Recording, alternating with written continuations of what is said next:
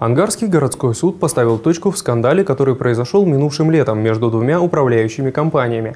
Яблоком раздора стало право управлять домом номер 84 в 9 микрорайоне.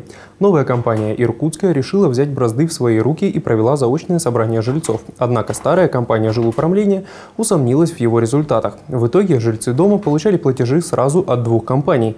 Граждане обратились в суд. Истцы просили суд признать недействительными решения общего собрания собственников помещений многоквартирного дома и заключенные договоры на оказание услуг по содержанию общего имущества многоквартирного дома, применить последствия недействительности сделки. Ангарский суд отказал в удовлетворении исковых требований, решение обжаловалось в областном суде, но было оставлено без изменения. Собрание было признано состоявшимся. Домом теперь по закону будет управлять компания «Иркутская».